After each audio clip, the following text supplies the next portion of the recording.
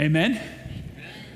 Well, good morning, everybody. My name is John, one of the pastors here, and I look forward to teaching the Word of God this morning. We're going to be in 1 Peter chapter 2 as we continue in our, our series. Uh, I had a buddy years ago that was selling his truck, and I asked him why. He said, I'm tired of helping people move. So he's serious? He's like, Yeah, I hate it. Everyone knows I have a truck. Get called every weekend. I can't say no, so the truck's gotta go. And when we think of all, like the list of different things that are like good tasks, things we do because we're good people, moving's got to be right there at the top of the list. Um, helping people move. Maybe you've been in a situation where you show up and they hadn't packed anything yet, and you got to figure those things out. Now, there's always one thing that's really difficult. It's how do you move the couch? Especially if there's stairs involved. I mean, couches, they're always heavy and big. And I remember this one time, a buddy and I, we were moving this huge hide a bed type couch. And there was a staircase involved, and other people were watching us, not helping. And we were coming down, and the couch was too big for the staircase. And so we're going through, and we full on, we get stuck. We're there, we're trying to move it, we're trying to hold it. This thing's heavy. And, and people are telling us, like, just lift it over the banister. And the, the frame, the metal frame underneath is like digging into my fingers, and it, it hurts so bad. And all I can hear in the back of my mind is Ross from Friends going, pivot, pivot, pivot.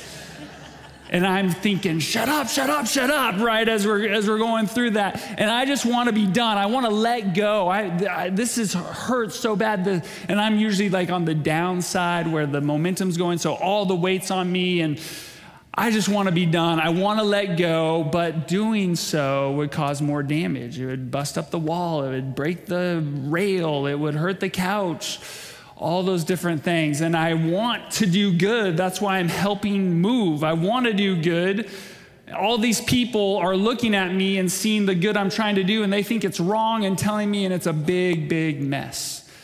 Today's subject, unfortunately, can be a big, big mess for a lot of people with different circumstances that they're going through. And our topic today, it's an S word, not that S word, a different S word. It's on submission which many people put on the same level as the four letter variety. But as we're talking about that word today, which is thematic in this whole series, we just want to let go and not deal with it. But in doing so, we would cause more damage. And we are here for, for the good of it. And the word submit, it's actually a good word that we're going to get to unpack just a little bit more today. So we're in this series called Role Call. We're in First Peter, um, going through a couple verses at time and looking at different relationships uh, that we have this opportunity, this good opportunity to submit governing authorities last week. Uh, we have this week and, and then a couple more weeks to go as well. And um, again, the whole point of this series is knowing where to yield so we don't collide. And there's so many different opportunities to crash in life. And so yielding is so important. From time to time, when I'm taking off and leaving the home, I'll say to, to my wife, Hey, I'm heading out. And she'll respond, Drive safe. And I'm kind of thinking, I know, I, yeah, drive safe, all that kind of stuff. And then she'll say, Hey, you know, you drive safe. It's not you I'm worried about, it's all those other crazy drivers I'm worried about. And if you were here last week, you learned that that crazy driver was Pastor Scott that she's worried about. Okay, so like we we want to be like not colliding, like we need like submission. It's a good, such a good thing. And I want that to get into our minds and our hearts this morning that submitting is good.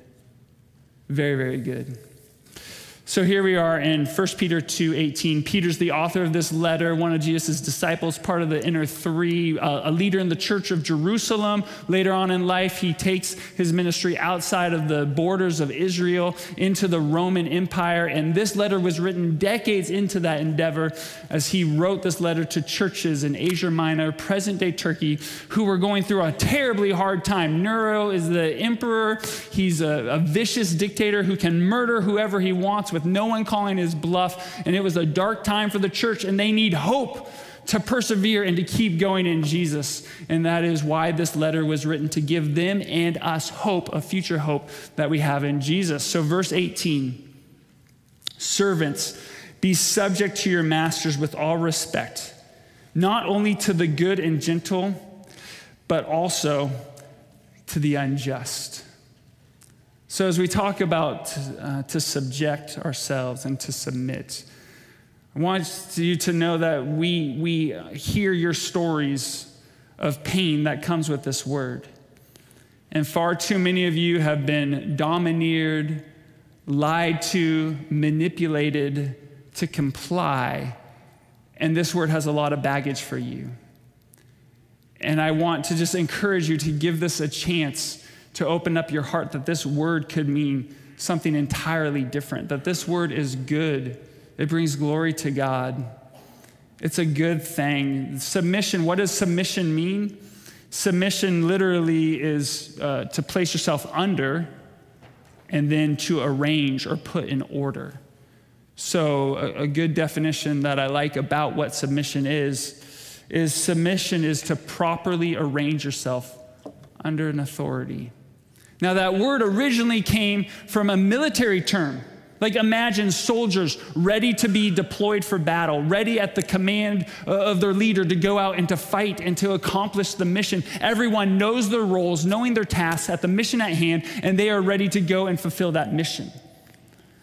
There are several myths that get tied into this word that we just, we just need to bust. The first is that submission is for weak people. You're going to be strong. You're going to do what you want, when you want, how you want. And that, uh, uh, then if you're submitting, you're not that. But submission takes strength. That it's not for the weak. The other one is that submission is to be silent. You know, like know your role, shut your mouth, put a big thing of duct tape over it, and don't talk, don't say anything. Submission is silence. That's not what submission is at all. And then the third is um, submission is unquestioned obedience. And it doesn't matter if you're asked to do something evil or bad or whatever, you just got to obey the authority and do whatever they say. And that is not the picture of submission as well. Submission is not meant to be for suppression. Submission is for you to know your role, what God has called you to do, and to do that with excellence, to add value to the mission, to enhance the likelihood of success. That's submission. It's a beautiful thing. The picture of submission is a soldier ready to do whatever it takes to accomplish the mission. And it takes strength, it takes courage, and it takes upholding the truth. The other thing about submission is submission is actually freeing. So many times the Word of God twists, or not twists, but takes things and turns them upside down of what we would expect. And the Word of God does that here. What would seem would be restrictive and controlling is actually life giving and freeing.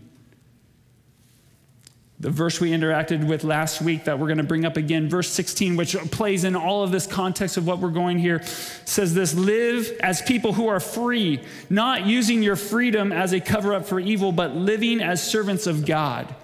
That's what we're called to do, to submit to God, to live as His servants by His divine design. Submission it's freeing, and it starts with following God, the most freeing thing we can do on the planet because God is always out in front of us. Like He's always leading the way. So much of this comes down to who goes first. And yeah, it's nice to be first in line for ice cream, but would it be nice to be first to storm the beaches of Normandy? Like the, the, this concept, submission, who goes first? We come and we recognize that God always goes first. He's out in front of us. He's leading the way, and He led the way to our salvation by sending His one and only Son, born of a virgin, proving that He was God, who is fully God and fully man, who came to this earth and died on a terrible, gruesome death on a cross in your place for your sins. And He was buried and He rose again so that in trust in Him, you might have life 2 Corinthians 5:21 says it so well that God made him sin who knew no sin so that in him we might become the righteousness of God. And it is through trust in him that we experience true and absolute freedom so that we can follow him and be free. So, as we're still here looking at verse 18, we have a couple tension points. We got servants, which we kind of use to soften that a little bit, but the word um, there is slave. There's no getting around it. And that brings all sorts of emotion and memories and lots of questions when you start talking about slaves and, and masters. So that's, that's something there. And then you keep reading, and it's like these masters, you're supposed to give them all respect, like every ounce of your respect. All of it is supposed to go to this master. And then you keep reading, and it's like, oh man, like it doesn't matter if they are good or bad, right or wrong, just or unjust, you're still supposed to treat them the same. And it's like, how do we deal with that? How do we work through it? Now, the word for unjust there that's used in verse 18, this word means crooked, not straight, corrupt, harsh. And uh, we have some picture here, like an x ray of a bone. You know, like, is that how a bone is supposed to look?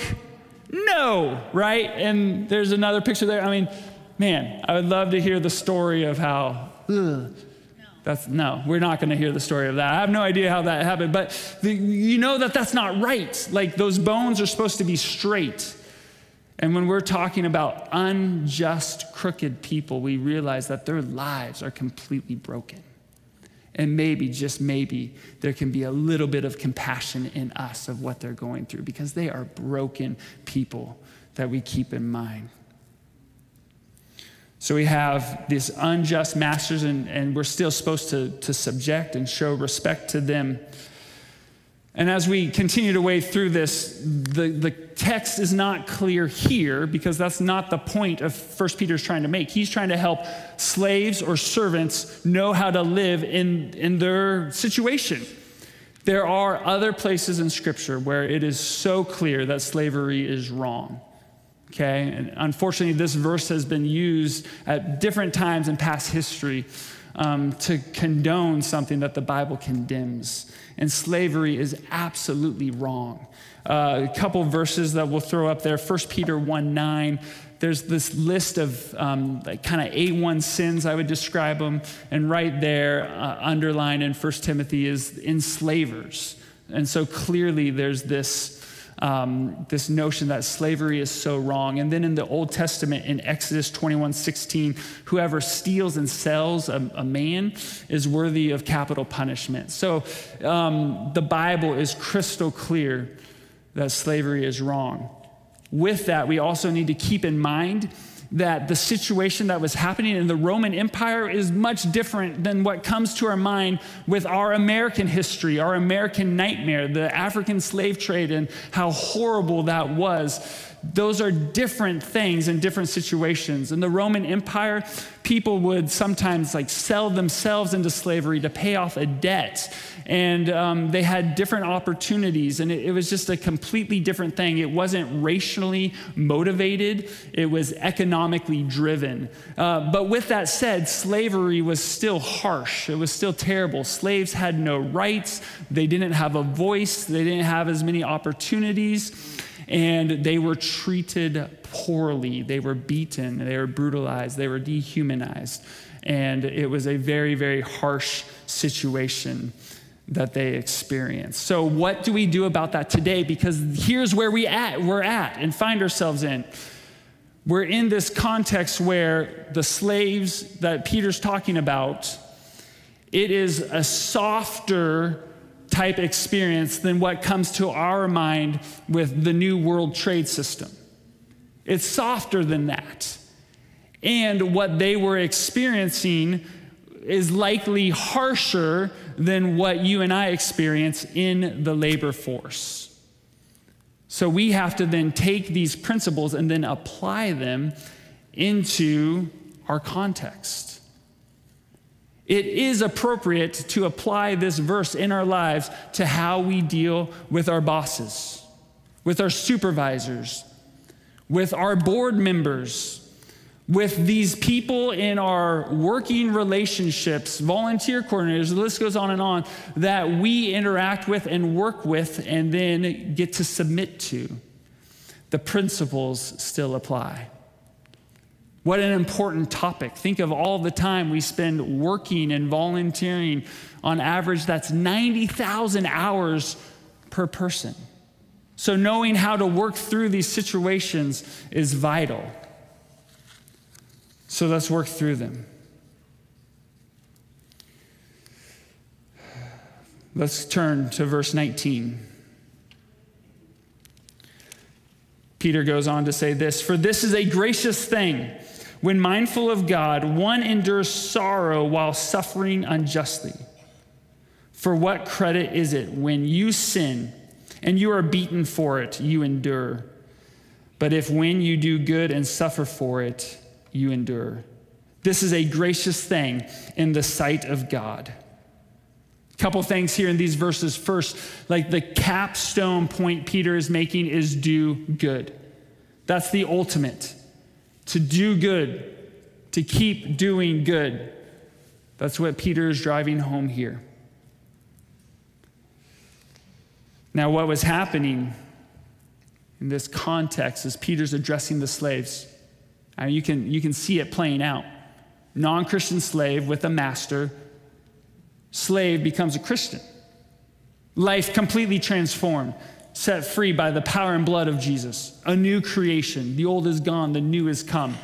An incredible experience. Their life has changed. Earthly master is like, what the heck is going on here? Like, this slave I had is completely different. And then you can imagine, with no context for this master, their slave is starting to do these things that seem weird and bizarre. And they become suspicious. I mean, imagine with no context hearing a slave talking about taking the Lord's Supper and communion. Like, this is cup is blood and bread is body and they're eating it. Like and there's a lot of suspicion that there was cannibalism happening in the early church. And then the early church would do these things called love feasts. So this time of fellowship and communion and celebration. And people around are hearing this and they're like, what is these Christians doing? Are they having these wild orgy parties and those kind of things? And the, the masters were becoming suspicious of their slaves. And you know human nature, what you don't understand, you're cruel to. And so they increased their beatings of the slaves. And so we must realize the slaves most of them, they're doing good things. They're worshiping God. They're following the ways of Jesus. And in doing so, sorrow and suffering is coming to them. And oftentimes, when we experience tough times and pain and suffering, we wonder what we did wrong and how could this be and why is this going on? And the reason why it's going on is because you are doing everything right. And that was the situation for them. Man, it's tough. Any sort of pain, any sort of sorrow, any sort of suffering is hard and it's bad news. And what do you do in those moments? So, doing good can bring sorrow and suffering. But what do you do there? You keep doing good. Pain is not a license to then do what you want. Verse 20 gives or sorry, verse, yeah, verse 19 and 20 gives kind of like an example. You can kind of look at it. It says, like, what credit is there if you sin against this master and then you're beaten for it and you then endure? And the answer is there's no credit. Like, that is the bed you made. Uh, so if you're late to work and you're not doing your job well and you get fired, that's not this sorrow to endure. It's, man, this this happened and take responsibility for that. But then he goes on and says, is what is the credit here? What is the amazing thing is if you keep doing good, even when you're suffering for that good. You keep doing good even when good is viewed as bad. And that is what was happening there. So, in our situations, in our volunteer work, in our work, in our jobs, in how we spend our time as retired people, we keep doing good. We keep upholding. And that word endure that's in that verse, it means to stay underneath something that is heavy. A terrible hide a bed couch that's hurting all your fingers. You, you stay under there and you keep holding it and you keep doing it. You keep doing good, even when good is seen as bad. And many of you are facing opportunities to do this, where you're suffering and and having hardship because of a boss who's a jerk, a supervisor who doesn't understand, someone who's incompetent at what they do. You shouldn't even be in that position in the first place. What do you do in those situations? You keep doing good. When your territory and your sales goals gets doubled after a record year and there's no way to make it happen because your team has been shrunk, you keep doing good. When you're purposefully given a bad review so you don't give a bonus, you keep doing good. When you're required to teach or train on topics that contradict the Word of God, you keep doing good. When you're told to withhold information from parents that is vital to, to, vital to help their students work through mental health issues, you keep doing good because doing good is the ultimate aim. You keep doing good according to what God has defined as good, and that is our highest priority. Do good, even when good is seen as bad. But who do we do all this for? Who do we do all this for? Let's, let's take a journey kind of back a few verses, and we, we talked about this a couple weeks ago. Look, let's look at verse 13 real quick. Be subject for the Lord's sake to every human institution. So, yeah, we're called to submit, to properly arrange ourselves in order under authority. We are called to do that. For whose sake? For the Lord's sake. Leads us to our second point doing good is for the Lord's sake. So it can be helpful here in verse 18. As we're reading where it says, Servants be subject to your masters, we can add in, it still applies back from verse 13, for the Lord's sake. It's not for the master, it's not for the board, it's not for the boss, it's not for the president of the parent club, it's for the Lord. People's agendas, threats, or power. They do not have the final say in your life. The Lord is the ultimate master with ultimate power and authority. So do good for the Lord's sake. Our third point here is as we continue on verse 20 that this word is used twice it says here, saying, last part of the verse, talking about when you suffer for doing good and you endure, you keep holding, you keep hanging on, you keep that heavy thing under you, and you keep moving forward. It says the very last words this is a gracious thing in the sight of God. So we learn that doing good, even when good is viewed as bad, is a beautiful thing in the Lord's sight. It's a beautiful thing. Now, grace, grace, many of you are familiar with this term and you've heard it before. Grace is like undeserved favor.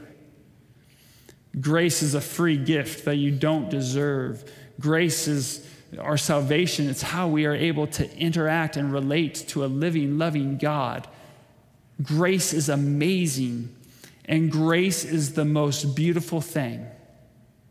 Is the most beautiful thing that could ever be expressed. Grace is beauty. And so it is a beautiful thing when you continue to do good when everything in you wants to stop.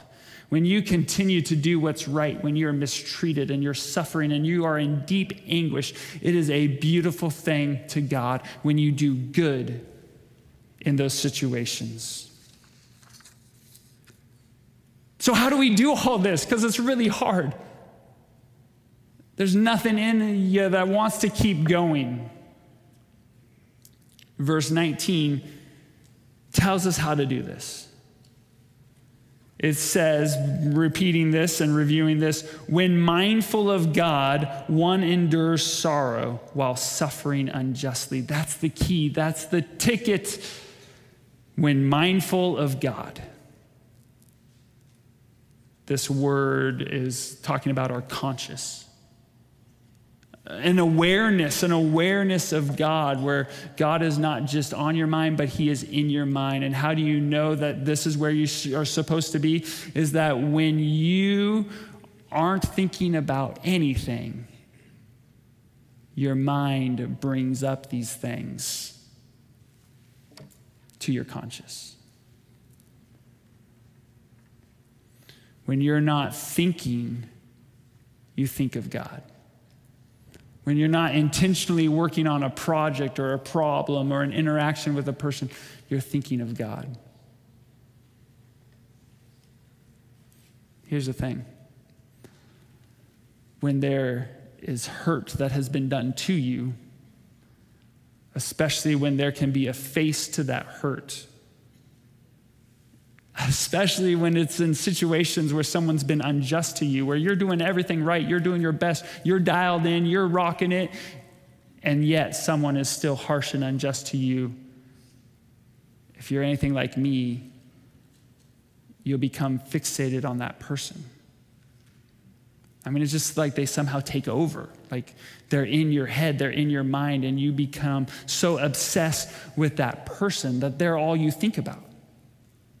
And there's different levels of this. And if this is if this is something that you haven't experienced or aren't experiencing now, be proactive that this doesn't happen.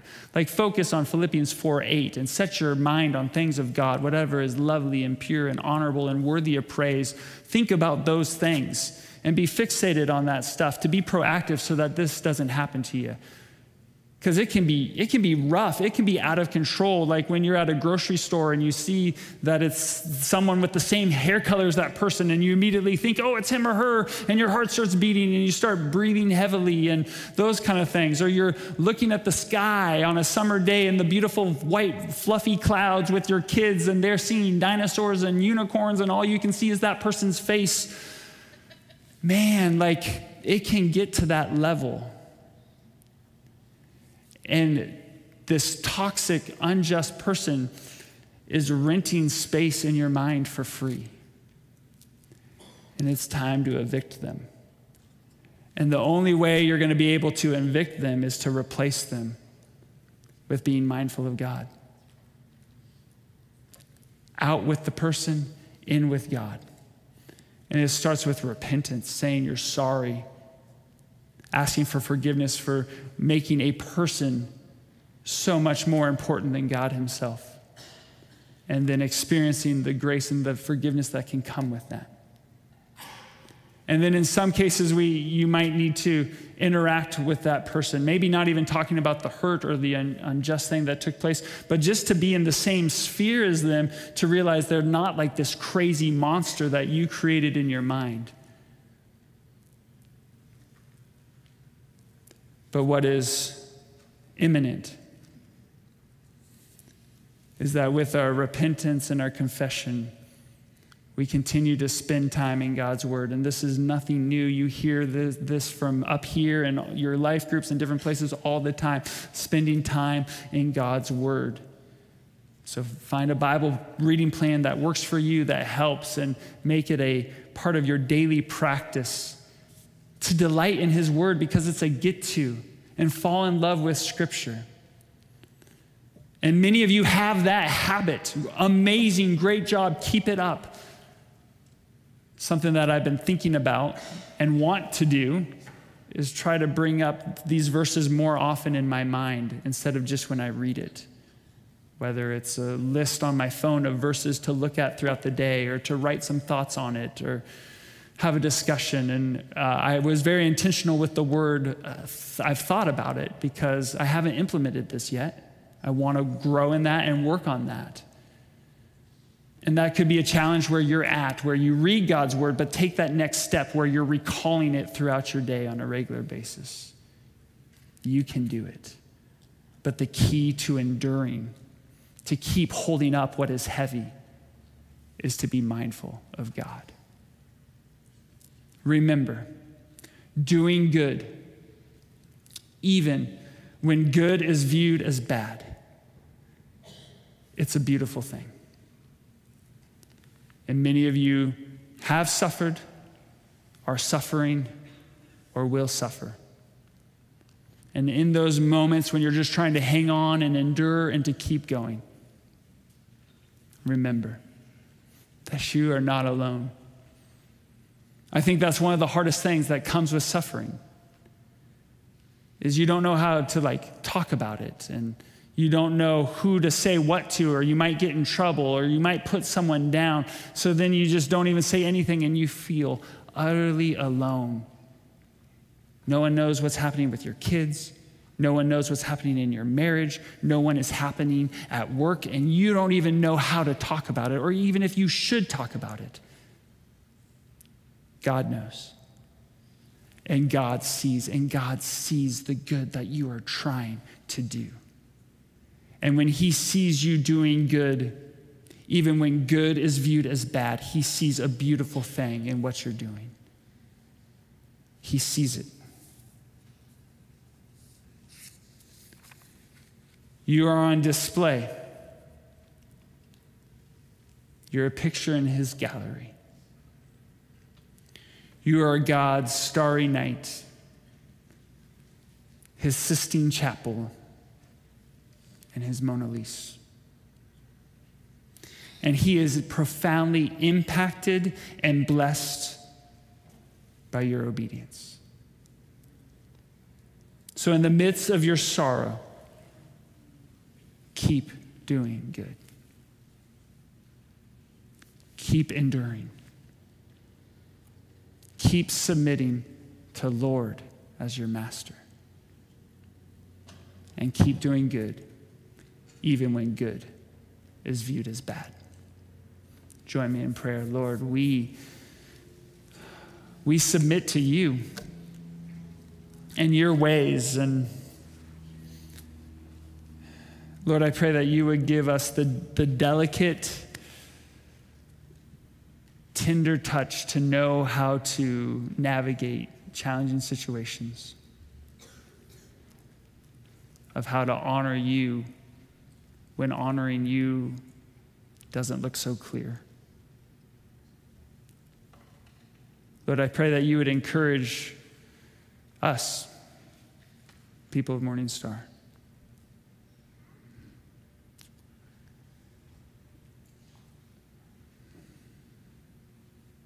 Lord, those here who struggle to submit, uh, man, uh, that's me. Lord, I pray that you would change our mind about what submission is and that we would realize that it is good and freeing and glorious under your design. And that we would seek to be mindful of you in everything that we do and in every way. And Lord, in those times where we are being treated harshly by the good we're trying to do, I pray that you give us endurance, give us courage to keep going, knowing that the only way that's possible is being fixated on you. Lord, we repent of making people too big of a deal. You're the deal, you're the big deal. You and you alone are worthy of praise. Your greatness is unsearchable. So we love you today. In your name, amen.